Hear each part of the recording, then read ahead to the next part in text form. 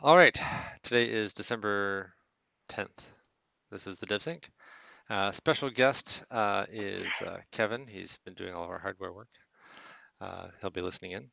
Um, and uh, let's go ahead and, um, well, you know, to be honest, we were having a conversation about uh, some of the last tweaks to the hardware that we're making. So why don't we just continue that conversation?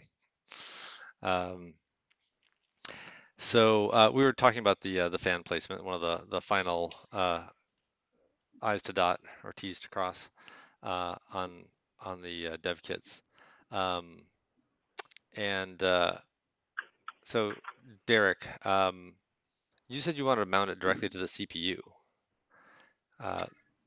yeah, with a like a heatsink fan combo, just directly on the CPU with like a a 25 millimeter square, just little a little fan. Um, but that's not very big, and you know it's maybe not.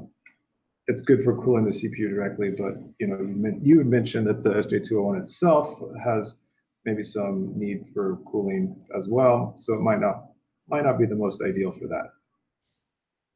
Yeah, I mean theoretically, but, the SJ201 draws a lot more power than the Raspberry Pi because of the amplifiers and the XMOS chip and everything else. So, right. um, yeah, and I, like I said, I was noticing, noticing it getting uh, pretty warm to the touch, uh, and a, a, very low flow uh, fan uh, cooled it down significantly. So that was that was my thinking there. Um, so, yeah, I mean, I think I had the same conclusion that Josh had. Uh, I actually sent Derek a picture of just that, Josh, of using that the the hole on on this side of the device and just putting four mounting holes on that and um, you know okay. then you can stick a fan the, on the inside or the outside. Yeah the, the, use a shorter ribbon? Dsi ribbon? Well the the only question if we do put it on this side is is to make sure that we have enough space for the fan between the inside of the case and the yeah. and the audio chamber, but it looks it looks like we do, and so we could just tweak this last shape. And Derek needs to make a change. Well, we don't need to, but I mean, since we're doing another rev anyway, it's my preference that this be assemblable in only one configuration. Because right now, a couple parts are reversible, and you could you could put the, for instance, the front plate could be reversed, and the left and the right can be reversed. So rather than than do it like it'd be great if if just by design there was only one way to make it into a box so we, we just need to tweak some of these tabs yeah yeah i agree um, with that um, Gez was saying isn't that that access panel was or that access hole was intended to be able to to reach in and get to the uh, SD card and the um, DSI cable. Although you can assemble it if you do it correct, you know, the right order. You don't need to uh, to access it that way. You can just, you know, assemble it on the front and plug it into the Pi before you put the, you know, case, the final uh, case together. Um, so I don't think that's that big a deal. And you know, if we're using, we're pretty committed to using USB. So I um, I think that's that's okay too. We can put it off. We can still leave maybe a little bit of access there for I don't know tweezers or pliers. I was also just thinking about the like the the cable you know, the bigger the cable that there is, the more that it's going to like impede airflow of, of, you know, from the fan. So like, oh right, you know what I mean? Yeah, we might need to think of so a way to potentially if we, yeah, if we cut down to a 100 mil cable or something like that, then uh, it might just make it a bit. Oh, I mean, given the size of the fan that we're talking about and the you know the open nature of most of this case, I don't think that's really there, there's nothing really blocking it. I measured, you can get a 40 by 40 by 10 millimeter fan inside the enclosure if you didn't want to mount it to the outside. It'll fit with the current design of the uh, audio chamber and and clearances and whatnot. So we're talking about air flowing from like from one side to the other, right? Like yeah, more or less. Sideways. Yeah, like, basically I want to get flow across the surface of the SJ201. Yeah, and so what I'm saying is that like you know if you've got this ribbon that's sitting here and you mm-hmm. like bolt a fan to the outside, then it's got the it's, it's directly pushing against the ribbon oh. or pulling against the ribbon. Mine's mine's well, not actually, mounted like that. Mine mine yeah. works like this. Uh, it's a lot more clear. We've changed it up. Yeah, we've changed it up a little bit because you've got a. Ah, okay, right, right. Yeah. Uh, ignore me then. All right, so that's uh, some fun little insight into the world of hardware design. Um, That brings me, the question I had about all this was, um, are any of these changes uh, fundamental enough that we should have, that those of us that have laser cut enclosures should get um, newer versions? Or are these more just cosmetic You- things that aren't you- gonna You will get newer versions as soon as we have it settled. I will put a flat pack on them and ship them to everybody. Um, one of the things I need everybody to do is assemble one. Um, you know, uh, Michael's direction was they'd be able to do it with nothing but a screwdriver. Um, Derek and I had a discussion yesterday. I think it's unlikely that that's going to be possible. Um, even I've, I'm pretty dexterous and I have trouble getting those nuts in those slots. I need to use a pair of needle nose pliers to put the nuts in. So it, they're probably going to need a pair of needle nose pliers and a screwdriver or a pair of tweezers. But I mean, you could do it with just a screwdriver if you had teeny tiny fingers, you know, but I, I yeah. So, I've- but I've anyway, come I need everybody to build them so that, so that if the Come up with some instructions methods. suck, we can fix them. Yeah, I've come up with some methods that you can do it, like the way you hold it and stuff, but it's, it's a little tricky. So, but it's, I mean, it's doable. Yeah, I've put mine. I've put together, Yeah, but it would cost pulled and money. pulled, put together mine a, a few times now. So like you kind of get better at it the more the more you do it, and it's the, the order of operations and, and how you hold the case as you like as you, you know hold the nut in and, and all that sort of stuff. So if there's a way that we can improve that, then great. But you know, I yeah. oh, hey, that reminds me. Are we insetting all of the nuts into the plastic with a soldering iron? Well, Josh and I talked about that um, yesterday too, and the idea would be, yes, that would be included with our, um, Okay. Our kitting uh, assembly process. So um, we would not put that on the end user. Okay, yeah. So we have to we have to add that to our uh, kitting process. Yeah, Yeah, Okay. and Mo, c- I can Mo can do them on the the ones that are that she's making, but the uh, as part of the process, which you know I'm comfortable with. But the laser cut company, whoever's doing the laser cutting, probably won't have that ability. Yeah. I, I think that's something that our, you know, assembly partner can handle. Um, right. I've got a I've got a patent attorney in seven minutes, so I'm going to talk. Lee Chang reached out and wants to talk, and I don't know if that's good news or bad news, so we'll see. Okay. But um, if I can if I can go first, that would be great. Uh, Okay, let's go. Go so first. I I all right. So um so I built this one yesterday, photographed the entire process. It, works out really well. Like these are the the way this audio chamber is set in here with Derek's new tabs. It's rock solid with the the uh, the rubber insulators in there. Even with the rubber isolators in there, it's great. Um, so these are the flat pack stuff is in pretty darn good shape, and we're pretty happy with it we've come up with suppliers for pretty much everything. Um, we're still tweaking the last few things. All of the major parts are on order.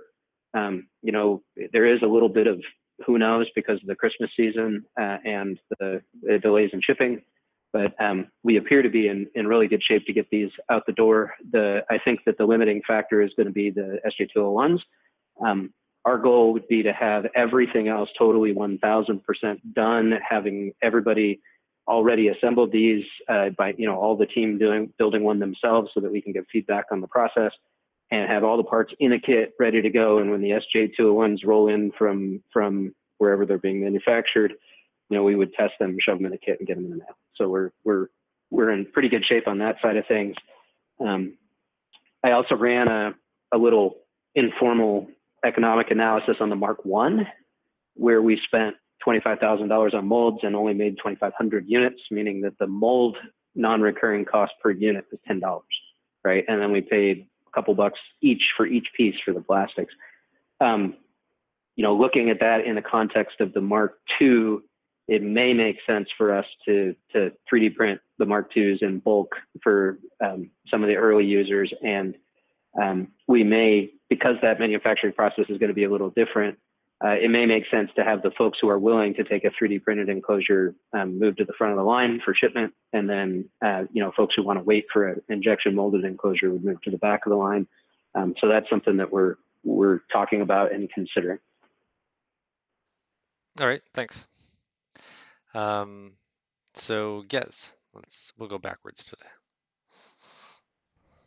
Uh, yeah, I um, helped Derek a bit with uh, with some Linux fun uh, and networking stuff, um, uh, some marketing stuff, which which you know is a, an unfortunate necessity of running a business, but it's not really what I want to spend my time doing.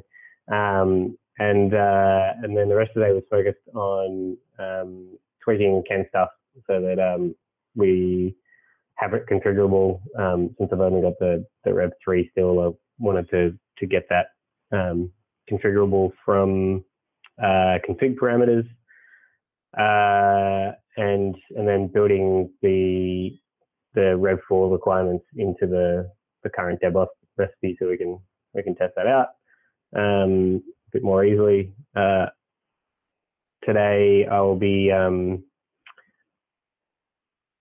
testing out, yeah, trying trying to get that working on the on the Rev three, um, and uh, yeah, getting back to Pantacor and and making sure they're ready for the uh, for the demo tomorrow morning.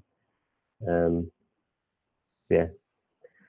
Okay. Do you do you have an update on uh, the current state of the Pantacor image building process? Is it are they able to, you know, repeatedly build images that are getting incrementally better, or are we kind of stuck on anything? Or Yeah, there was uh, some regressions with the with the audio permissions, but I think they've been sorted out. Um, I haven't tested this morning yet, um, but yeah, they are incrementally getting better. Um, it's they they hadn't had any of the the extra SJ201 stuff in there yet, so it was all you know based on um, USB, you know having having sound devices available by USB. So um, all the Rev 4 stuff should be in there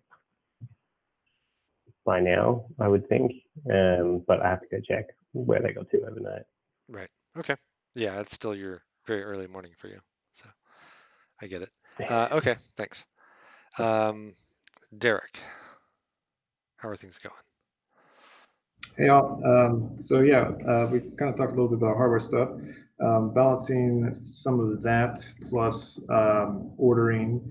Uh, Chris, I'm working with Chris Adair on ordering. Um, she's mostly doing it, but you know, she's. Anytime she needs to clarify something, um, she's been coming to me. Uh, so that's been going well. Um, I think with the la- latest things, we got the DSI cables um, moving and we're still uh, waiting for the cameras, um, but I think we've got that figured out. Um, and heat sinks and, and so on and so forth. Uh, and then the rest of the time I was just kind of working with, with Ken on trying to get uh, the SJ201s I have up and going. Um, and I, I'm just seeing some funky stuff outside of the, the image itself that um, I'm not sure what was like Gez mentioned, he helped me a little bit yesterday with networking stuff. Um, it appears the I cannot get Wi-Fi to work properly um, on this build, and I'm not sure where that's coming from. It's um, could could have been present for a while and might have something specific to do with my network setup. setup I don't know, um, but it works fine um, on Ethernet. But uh, on Wi-Fi, I can ping things. I can, you know, it gets a, again a, a, IP address assigned to it, and I can hit the internet, but I can't uh, SSH into it, and I um, don't don't know what's causing that. So uh, yeah, then we just we were trying to get uh, we got everything to work but the mic. Um, so we've got the buttons working, we've got audio output working, uh, got LEDs working, but um, yeah, the mic mic is isn't working right now. So that's kind of where we're at. Um, yeah, so so that's where we're at with that. And I think uh, for the the remainder of today, I'd like to, Ken gave me one last uh, thing to try. So I'll, I'll give that a shot. And um, now I'm going to try and get these updates that Josh has requested on the laser cut design done. Okay, great. Um, yeah, so yeah, okay, I'll get to that in a minute. Uh, Chris Fair. Sure. Today has not been a particularly productive day for me. My wife and I are, are starting to prepare for my my daughter's 18th birthday on Saturday. So, um, so yeah, that's kind of a big deal going on in my household. Um, I have I did a little bit more work um, on the document as with as far as uh,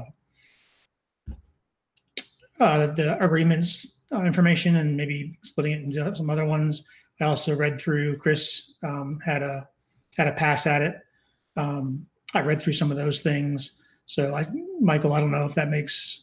I don't think there's anything materially different, at least from um, you know what we came up with, but um, might be worth making sure that we're all on the same page with that. Um, and I've started uh, looking at getting some Jira tickets defined for um, for the work on um, the new account membership stuff. And once I get that done, um, I'll start the work.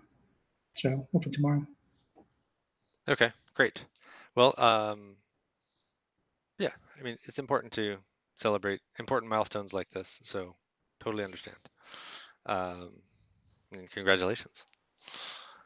I feel old. Any reasonable dowry offers yet? You're just lucky that the drinking age is 21 now, right? Yes, yes, it is. The legal drinking age, although Yeah, there are not gonna matter exemptions for you Go to college, but that, you know, it's, it's, it's a good thought. there are exemptions for uh, for religious purposes and uh, in your own home uh, in a lot of places as well. So with adult supervision. So anyway, um, which is of course the way all kids want to do that, right? So anyway, um, uh, Ken. Right, so I'm working on the Mark IV or the uh, SJ201 Rev 4 for the Mark II, and um, other than the microphones, everything's working fine. Uh, other than other than recording, so which isn't really that important a function for. Wait a second. Wait a second. Wait a second. Yeah, I thought you had recording working before. Yeah, so uh, recording has been um, an issue, and I don't think it's hardware. Uh, I believe it to be software configuration of some sort. But uh, it was one of the earliest uh, concerns I had when I first unpacked it and got it running. If you go back and look at my first emails to Kevin, it's like it doesn't record. And um, yeah, like just like late last night, I thought I had it nailed.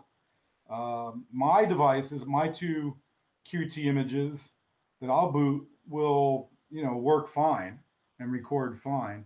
Uh, but I do have some issues on the newer one uh, regarding using the arecord command line. Um, and uh, you know it was working, and then sometimes I boot it, it's not. So so the bottom line is I just don't know what's going on there. I'll work with Kevin in the morning on a fresh QT install, and he can possibly hook up scopes and see what's going on, uh, and we'll see what's cooking. But yeah, um, other than the microphones, everything works great. Is it uh is the recording aspect um that's that's the opposite of the problem we were having before, right? We were having trouble with playback before. So that's that's interesting. Uh but um is it an issue where if it boots up then it's just fine and it stays fine? Uh or or you know, No, it's an it issue that out? once I seem to get it working, Mycroft runs fine. Um, and I don't have to do anything ever again, but I'm still early into the problem. So, like I said, it was late last night when I finally thought I had it nailed. So both of these work. You know, uh, Derek's we couldn't get working. So, you know, I don't know what of the million things I've touched was the important thing, and I have to go back and unravel that. So, uh, after the meeting tonight, I'll spend the rest of the night going through that and then uh, give Kevin a couple hours to wake up in the morning and then we'll go through it step by step and see what we can figure out. But again, I don't think it's a hardware issue. I suspect it's software. I will I will note this though. I inadvertently have left in the USB cable slash uh, Mycroft USB adapter. And since there's no USB now, I noticed I was getting errors in my dmessage file uh, and that I and since I removed that, they went away.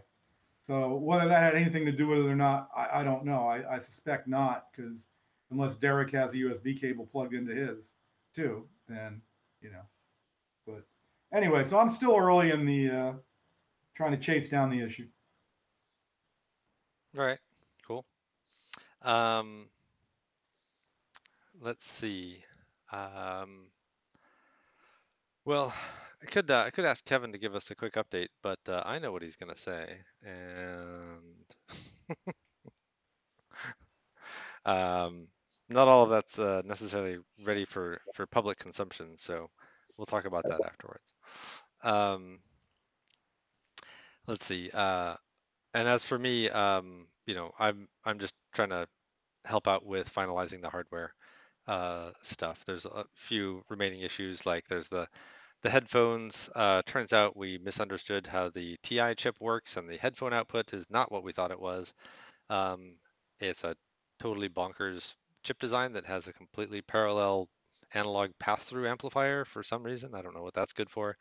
Um, so uh, Kevin and I have been going back and forth on different ideas on how to get the headphone output to work, uh, since we promised that to people. Um, and the uh, there's some other little issues, you know, with uh, parts in, in, terms of the the fan that we discussed earlier, and some grommets for um, isolating the the audio mechanically. Um, so you know, the, those last little bits and pieces. The PCBA is is a big one. Um, we need to nail down the the final Gerber files so that we can start getting real quotes on the PCBA stuff. Um, and uh, then we, you know, we're gonna have to start talking about the test jig uh, so that we can test all the SJ201s when they roll off the line, that sort of thing. So um, yeah, that's what that's where I've been focused in the last day or so. Um, so any questions, any any other issues people need to bring up or any other uh, follow-up conversations we need to have? Okay. So um, yeah, Ken and Kevin are going to get together tomorrow, try to get the Rev 4 boards uh, software up and running. Um, and um, I will review the uh, the comments that you made, Gez. I, I did see those come in uh, in my cursory look as they kind of scrolled by on my notifications. They all looked like reasonable suggestions and or intimations uh, with your questions, but I will uh, I'll I'll respond to those uh, as soon as I get uh, a chance to.